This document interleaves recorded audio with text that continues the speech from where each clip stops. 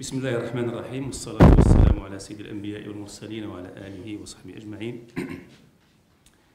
الإخوة والأخوات آه، قيادة هذه المنظمة العتيدة والمحترمة أعضاء وضيوف كرام أساتذة محترمين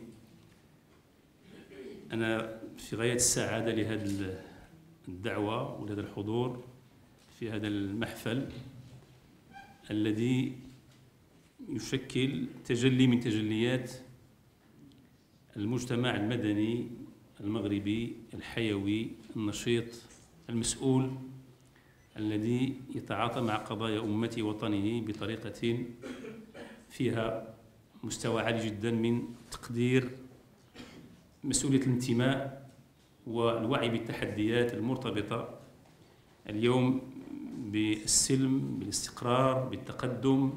بالتماسك هذه اليوم إشكاليات غير محسومة في أي وطن وعلى قدر جدية ومسؤولية كل جيل يكون منها الكسب المناسب لهذا المستوى من المسؤولية.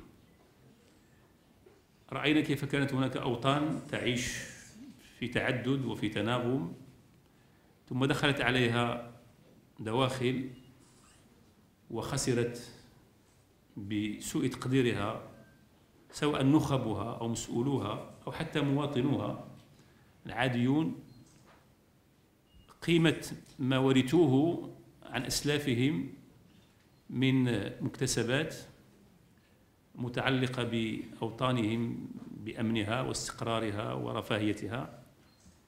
وتوهموا أن الأمر معطيات جاهزة وأن الأمور فيها طبيعة استدامة دون مجهود.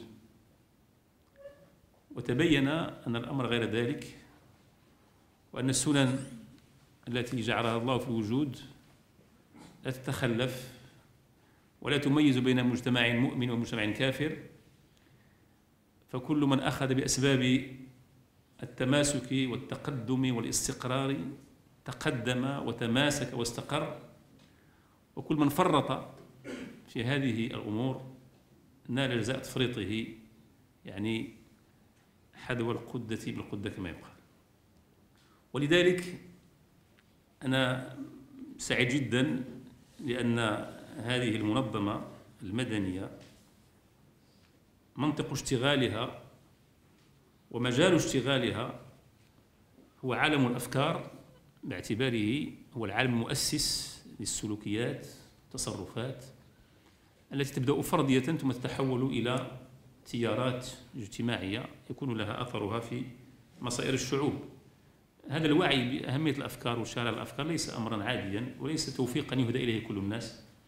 فهذه من ثمرات المنهج والاختيار والمرجعية وبالتالي لا شك أن في هذا ما يدعو إلى التثمين والتهنئة والدعاء أن يتواصل التوفيق والسداد في الرأي والعمل وأن يكون إن شاء الله هذا الكسب لوطننا وبلدنا مما يعزز هذه المقاومة التي أشرت إليها سابقا.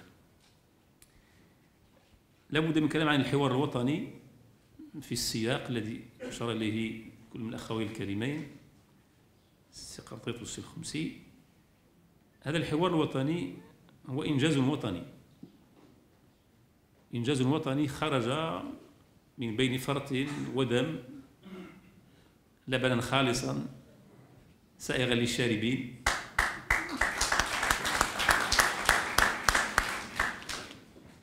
أولى بواكر هذا هذا الإنجاز الوطني هو التفاعل الكبير جلالة الملك حفظه الله الذي آه، قرر أن يتم الاحتفال كل سنة باليوم الوطني للمجتمع المدني يوم 13 مارس من كل سنة.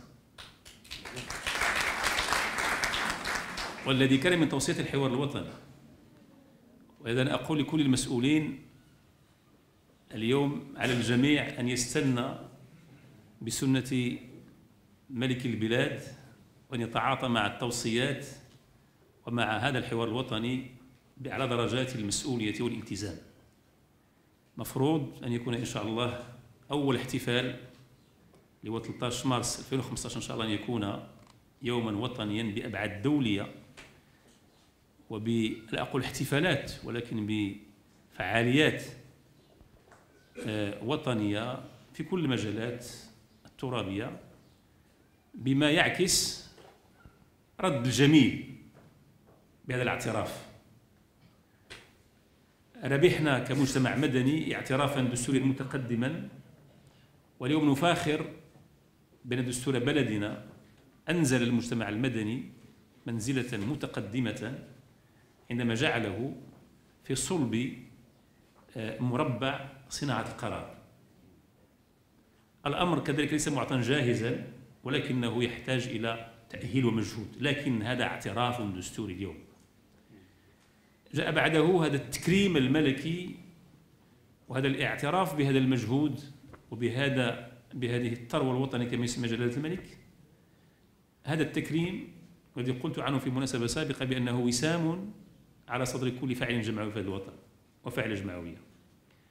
ووسام شرف ولكنه كذلك مسؤولية تقتضي رد الجميل للوطن.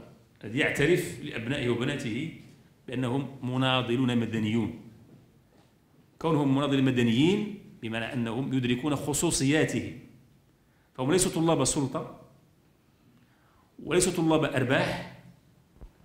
ولكن يعني غايتهم أن يبذلوا بجهدهم وعرقهم ونظرهم وإسهامات متنوعة ماديا ورمزيا أن يسهموا في تنمية الوطن وهم مطمئنون إلى هذه الرسالة النبيلة كفاعلين طوعيين يتكاملون ويتعاونون مع كل السلطات الأخرى من منتخبين وإدارة إلى آخره ولكن واعون بخصوصيتهم التي هي شرط من شروط استقلاليتهم هذا الحوار الوطني اليوم ربحناه ورشا عمليا ربحناه توصيات دقيقة تشكل اليوم برنامج عمل حقيقي وربحناه اليوم رمزية تاريخي باحتفال وطني سوف يتوقف معه الجميع لكي نناقش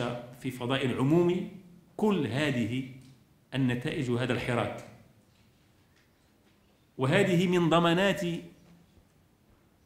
يعني تنفيذ وتنزيل هذه التوصيات. سيتوقف المغاربة سنويا بكل مؤسساتهم.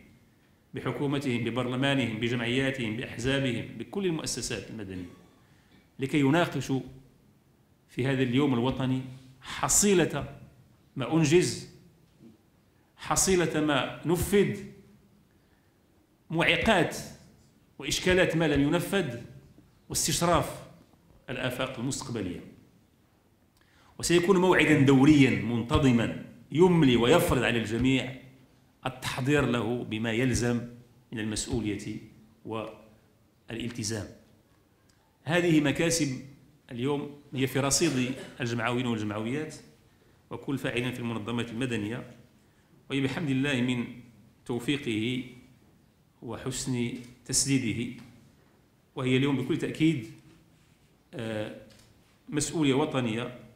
أنا مطمئن وواثق بأن تشكل أرضية انطلاق كبرى نحو آفاق واسعة من إحلال كثير من التوازن المفتقد في واقعنا والذي ينشئ بكونه لا توازن كثير من الاختلالات في تدبير الشأن العام سواء تعلق الأمر بثرواته المادية أو ثرواته الرمزية.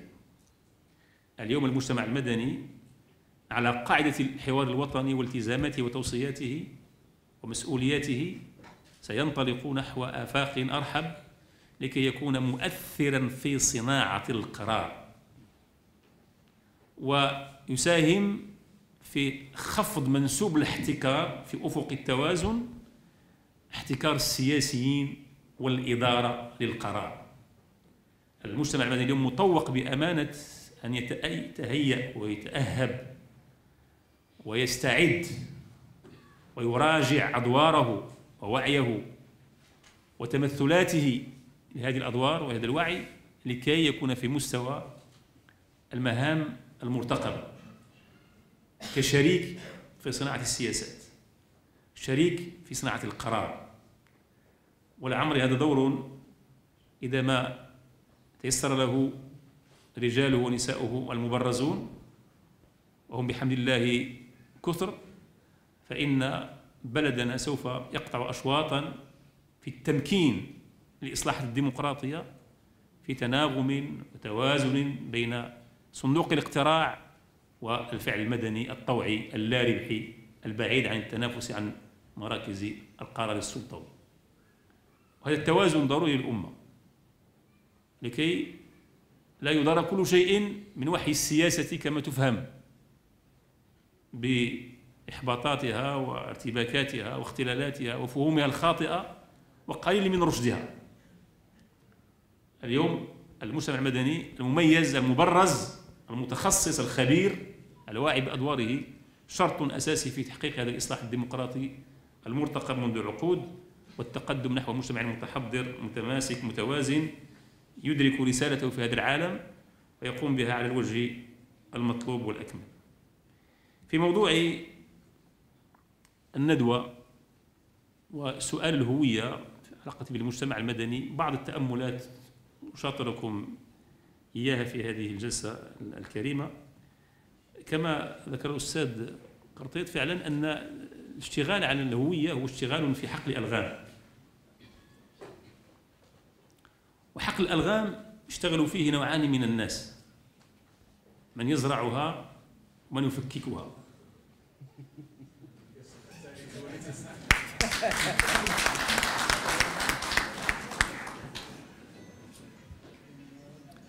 زراعة الألغام عملية ساذجة قد يؤديها أبسط مجند.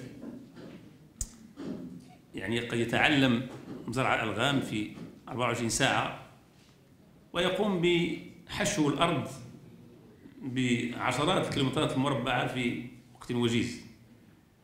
لكن تفكيك لغم واحد يحتاج إلى خبرة غير عادية. من هنا فإن الفاعلين في المجتمع المدني العاملين على موضوع الهوية يجب أن يميزوا وأن يختاروا أي دور يريدون.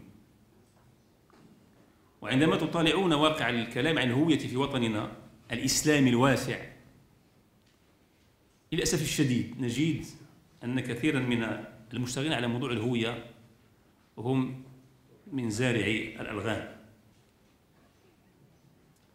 ويكون هذا الأمر مخجلا ومؤسفا ومخزيا عندما يرتبط بفهم معين للدين فلا يكون الدين معرفة للحق ورحمة بالخلق ولكنه يكون شيئا غير ذلك. يكون إذكاء للنعرات ويكون تصنيفا للبشر ويكون زرعا للكراهيات. وهو ما ينتهي في نهاية المطاف بمنازعات لفظية وقد ينتهي إلى حروب أهلية. لهذا اشتغال في موضوع الهوية هو اشتغال في منطقة خطرة جدا. هي بلغة علوم الكهرباء. هي اشتغال في منطقة الضغط المرتفع جدا. يحتاج من يدخلها أن يكون مهندسا بارعا وأن يعرف ما وظيفته عندنا الكلام في قضية الهوية. هل هو صاحب وعي بأن الهوية حتى عندما تستند إلى إلى إلى إلى إلى, إلى الدين فهما أو ممارسة وإدراكا. في حضارتنا الإسلامية في أوج تألقها كانت الهوية حتى من مدخل الدين كجوهر يتغذى بعدة يعني روافد منها الدين طبيعة الحال ليس وحده. كانت هذه الهوية مدخل للتركيب الخلاق. ومجال الهوية هو مجال يكون فيه التماس أحيانا ناعما ويكون أحيانا صداميا وفي حضارتنا لربما تجربة متفردة إنسانيا حتى في أوج الاصطدام مع الغازي المغولي انقلب بعد يعني عقود من الزمن من راغب في تدمير حضارة وهوية إلى متملك لهذه الهوية. أين السر؟ السر في طبيعة المهندسين في هذه اللحظة من تاريخ الأمة. حاملي هذا الفهم للهوية. وأنهم كانوا ينظرون إلى الإسلام وإلى الدين بأنه رسالة. وأن هذه الرسالة هي من مشمولات مقتضيات الارتقاء بالإنسان. ومن معاني الارتقاء بالإنسان أن يبحث عن التقاطعات الإيجابية مع الآخر. الاختيار السهل هو تصنيف الآخر و يعني توصيفه بعناوين مختصرة ومختزلة مسطحة لكي تسهل مواجهته. فتكون الخلفية في العمق خلفية مواجهة. في حين أن الوعي العميق بدور المهندس المشتغل على موضوع الهوية وكيف تبني علاقات وتبني تقاطعات وتبحث عن المشترك الذي يرتقي بالإجتماع البشري سواء كان داخل قبيلة أو داخل دولة أو داخل أمة أو داخل الكيان البشري العام. اليوم هذا الموضوع في واقعنا المغربي فعلا هناك مؤشرات قلق حقيقية من كل من يتصدى لموضوع الهوية سواء بمنزع ديني أو منزع قومي أو منزع لغوي أو أي شيء. هؤلاء المجانين الذين يطلون من هنا وهناك تلمحهم في في لحن القول وتعرفهم من طبيعة خطاباتهم المتشنجة ومعاركهم الهامشية التي لم تستوعب التناقضات المجتمع التي اليوم تحتاج أن يقع عليها العكوف لكي يربح منها المجتمع سلمه وأمنه وازدهاره واستقراره.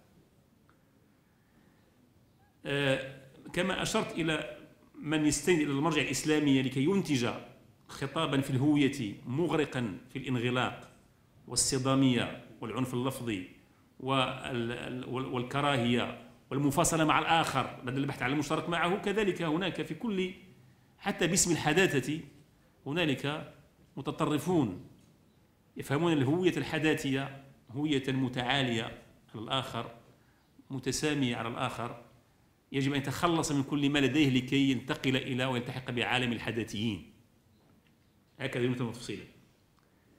حتى الغرب المسمى غرب الأنوار عندما ينتج خطاب مثلا في فرنسا أو في في علاقته مع المهاجرين خطاب الاندماج. خطاب الاندماج الانتجراسيون هو عنف في فهم هوية المستقبل تجاه المهاجر. لأن الأصل هو البحث عن التركيب الخلاق باستمرار لكي يكون الاعتراف المتبادل بالمشترك والعيش السليم والسلمي في إطار المختلف بالاختلاف ولهذا كما ذكر أحد قبل أيام في ندوة أحد المفكرين الأتراك عندما طرح بديلا الآن يشتغلوا به الأتراك في تعاملهم مع المهاجرين على مستوى المنظومة القانونية. بديلا من الاندماج يعني الكلام عن التناغم. البحث عن التناغم وليس عن الاندماج. الاندماج في إكراه لكي يندمج صاحب الهوية ألف في فضاء الهوية باء يجب أن يتخلى وأن يتنازل وأن يكيف ذاته وأن يكلف لغته ويتنرب عنها ويكيف دينه ويكيف شكله لكي يكون مندمجا مقولبا على حساب قالب صنعه الآخر. كل هذه المفاهيم اليوم في في مناخ الحداثة تبين أن هناك خطابا حداثيا متطرفا. كان كذلك من أسباب إنتاج الاستبداد والسلطويه العنيفه تجاه الشعوب وتجاه الحركات المخالفة حتى وإن كانت سلمية. إذا الاشتغال في موضوع الهوية هو اشتغال يحتاج إلى مراجعات ويحتاج إلى إلى إلى بناء وصناعة مهندسين من أجل أن تكون الأداء العام أداء تجسير العلاقات بين الأفراد بدل قطعها وتمزيقها تجسير العلاقات بين الشعوب بين القبائل بين الجهات بين المناطق. بين الأحزاب بين النقابات بين الجمعيات بدل الاشتغال فيما يفرق وما يعني يمزق الكيان الواحد. لربما العقلية المغربية هذا ال système اللي كنعيشوه اليوم بحال في الشكل ديال السياحة. حنا اليوم في السياحة مثلا كنجيو كان هذيك اللغة المستعملة كنبيعوا كنبيعوا المغرب بقاموس ديال الترويج السياحي. كنجيو كان ماذا نبيع في السياحة عموما؟ اذا تجوزنا ما هو طبيعي. منذ خلق الله الأرض الرمال والصحراء والشمس وكذا وكذا والأنهار والجبال. نبيع تراثا نسوق تراثا مغربيا متنوعا في مختلف التراب الوطني. بناه المغاربة في حركية وفي هجرة داخلية وفي تنقلات وفي مزاوجات بين القبائل وكذا وكذا. السلم اللي كنعيشوه اليوم في المغرب والتوازن المجتمعي وطبيعة النظام السياسي هذه كلها مخترعات مغربية. ماشي أمور كانت جاهزة في التاريخ. هي صناعة. صنعت بالخبرة التاريخية بالتجربة بالمحن بالفشل بالاصطدامات. وأنتجت في نهاية المطاف واحد السديم فيه عناصر تنوع غنية جدا ولكن فيها واحد الروح من الانسجام. فتمغربيت اليوم تمغربيت هي اللي كلبوتة قال لي فيها الشي كامل. هي اللي فيها الإسلام وفيها الشلحه والعربيه وفيها الصحراء وفيها دكاله وفيها الريف الشيء كله. كيتسمى تمغربيت ومن حاول تحت أي لافتة للهوية مغلوطة في النقاش أن أن يعزل جزء من هذا التمغربي كيصيب راسه في الآخر هو اللي تعزل؟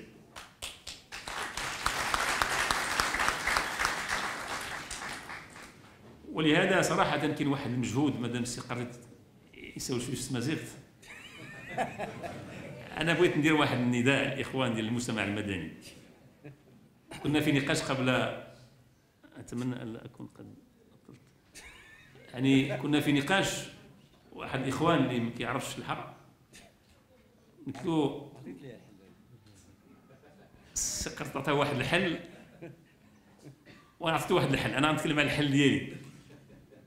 قلت له اليوم كنشوفوا أجانب كيجيو من أمريكا كيجيو من أوروبا وكيمشيو وكيسكنوا كيستقروا ست شهور عام عامين. تيمشي لإملشيل كيمشي لأغبالة كيمشي لورزازات وكيعيش. كيوجد أطروحة كيوجد بحث كيوجد أي شيء. تيدير عمل كاع غير طوعي. تيعاون الناس يحفروا الآبار تيعاون الناس إلى آخره. حنا اليوم كنعولوا كنراهنوا أننا غنتعلموا الشلحة من خلال المدرسة. بمعنى الجيل اللي جاي الله يدخل المدرسة دابا هو اللي يمكن له غدا يتكلم الشلحة بالطريقة المدرسية. وهذه ما غنعلقش عليها لانها خصها تكون. ولكن شحال من واحد فيكم كيفكر أنه غادي يمشي يخيم في واحد المنطقة امازيغيه وغادي يجلس مع الناس وغادي يمشي معاهم الفدادن ديالهم يمشي معاهم كذا معاهم آخره. شحال من واحد كيتعين في منطقة امازيغيه وما تيبغيش يمشي لها تحت منطقة أنها الجبل وكذا آخره. أنا كنعرف شحال ديال الناس مثلا في التعليم وفي الطب وفي الصحة إلى آخره اللي تعلموا الشلحه وما كيمارسوا المهام ديالهم. في ال في, ال في, ال في يعني في ذاك البان لينغويستيك في هذاك الحمام اللغوي اذا صح التعبير. اليوم واش الجمعيات عندها إدراك وتشتغل على موضوع الهوية عمليا أن تنتج برامج في التدريب والعمل الطوعي في المناطق الأمازيغية. ويمشيو لها الشباب والبنات اللي ما كيعرفوش الحق. ويمشيو ويعيشوا ويخدموا مع الناس. ولو فترات متقطعة. ومفروض دخل الجامعة على الخط وتصيفط الباحثين. أنا ما تنفهمش واحد تيدير بحث في علم الاجتماع. وجالس كيتنقل في المكتبات. وكيتكلم على الهوية واللغة وكيتكلم كيجي في الآخر واحد 600 ولا 700 صفحة بنهار كيناقشها كيدير الحفلة كتحط في رف من رفوف لا هو فما شنو الهوية ولا هو شنو اللغة ولا أي شيء.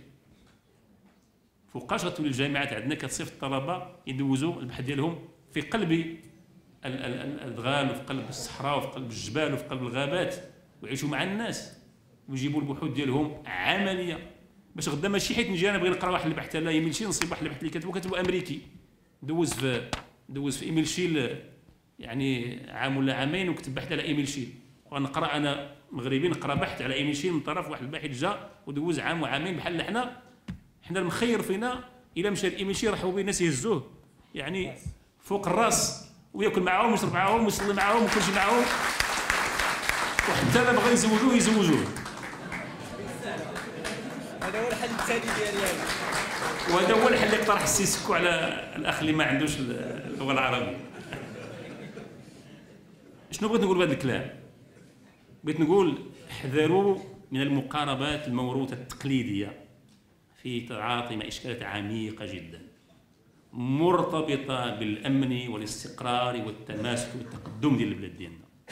نحتاج إلى جيل جديد من الفاعلين المدنيين من الخبراء المدنيين من الباحثين اللي يوجهوا يوجهوا القوة المجتمع والقوة الشبابيه على وجه التحديد إلى مناطق مناطق التوتر المستقبلية لكي يكونوا مهندسي تفكيك المتفجرات. هالشيء غير لو كنا كنتكلم بوحدنا أما إذا أضفتم إلى قضية الهوية العامل الخارجي واشتغال الفاعل الدولي صاحب المصالح الكبرى وكيف يشتغل على موضوع الهوية لكي يسعى منه؟ يعني نقطة خلاف وتوتر لكي يأتي ويحل حكما بين الناس ويأتي بإمكاناته لكي يستفيد من الوضع. أنتم تعرفون إلى أي شيء أشير؟ وفي موضوع الهوية تحديدا هناك اشتغال خطير على هذا الملف. إذا هذا واحد الموضوع اللي هو كبير بزاف وكثر ما فيه مهم فيه النظري ولكن أجمل شيء وأروع شيء فيه أن النظر يفرز برامج عمل نوعية فيها تجديد حقيقي يجعل الإنسان يرتبط بالأرض يرتبط بأخيه الإنسان من خلال نسج العلاقات والتفاهم والقرب وتجسير هذه العلاقات لكي تكون هذا الوطن إن شاء الله يظل كما كان محصنا من كل هذه المقاربات الهويات المغلوطة التي تنتج في نهاية المطاف يعني آه، خطابات حق ممارسات شاذة في حس وفي روع الإنسان المغربي. أنا أحكي لكم أنا قصة وقعت لأحد الشباب اللي مشى لفرنسا. وذهب كأي شاب خذا باك ديالو مشى لفرنسا. وحكاها لي الصديق ديالو اللي وقع لي هذا المشكل هذا. ذهب إلى فرنسا لكي يدرس. هو من منطقة الأطلس المتوسط وبالضبط من زاوية الشيخ. ومشى. هنالك في علاقته مع جزائريين من أصحاب يعني الانتماء إلى المسألة الأمازيغية إلى آخره فتأثر بأطروحتهم. ورجع يحمل معه هذا الفهم لموضوع اللغة والهوية والأمازيغية والعربية والشلوح والعرب كل ما تعرفون مما يقال ويكتب وإلى آخره. لما رجع في الصيف الصديق ديالو اللي هو صديق ديالي اللي حكى لي هذه الواقعة هذه آه، أرجو هادشي ما ما تصوروش غير لأنه ما عنديش غرض باش النوع من القضايا باسم أي شيء كاين اللي عنده اشتغال ديالو ما يبقاوش المغاربه يتعارفوا رغم أن القصة هي شعوب وقبائل لتعارفوا نطلب التعارف. اذا اليوم الرسالة والمسؤولية واضحة كبيرة جدا. أنا مطمئن بأنه هالشيء كله ما عندوش مستقبل. مطمئن جدا. كل النزعات المتطرفة يعني مصيرها التهميش. العقل الجمعي كيشتغل دائما بطريقة ديال الفرز. يفرز. كتكون بعض الأمور براقه أحيانا بعض اللحظات كتكون شي حاجة طالعة على السطح. بعض البهرجة كتكون طلع لكن العقل الجمعي يشتغل بطريقة الفرز الحضاري التي تنتج دائما استبعاد كل الأمور التي تهدد هذا التماسك الحضاري الرائع الذي بني على على قرون. إنما عندما يكثر المهندسون لكي يشتغلوا بشكل إيجابي في موضوع الهوية صناع التجسير وصناع التعارف هؤلاء عندما يكثرون طبعا تكون آثار هذه النزوعات المتطرفة على أي أرضية وأي خلفية تكون دائما أثرها سلبي ولا نحتاج مع إلى مجهود كبير في معالجة ما بعد الفعل ديالها. فأنتم كمجتمع مدني واعي بدوركم الرسالي تدركون أهمية هذه المسؤولية من خلال طبعا هذا الاشتغال المنظمات الرائع ومن خلال اختيار القضايا وهذه الملفات. فأسأل الله تبارك وتعالى يوفقكم وأن يعني يبارك أعمالكم وأن يجعل هذا الملتقى إن شاء الله يعني ملتقى ناجحا وأن يكون منه إن شاء الله. وأنا رأيهم شباب وشابات صغار. أن يكون إن شاء الله منه مهندسون ومهندسات بارعين في تفكيك الألغام وفي صناعة جمال الهوية الموحدة والموحدة والتي تؤدي في نهاية المطاف إلى إنتاج مجتمع إنساني نبيل محترم يدرك إنسانيته ويكون كما قال أحد إخوان المتدخلين غايتنا من هذا العالم رضا الله. السلام عليكم.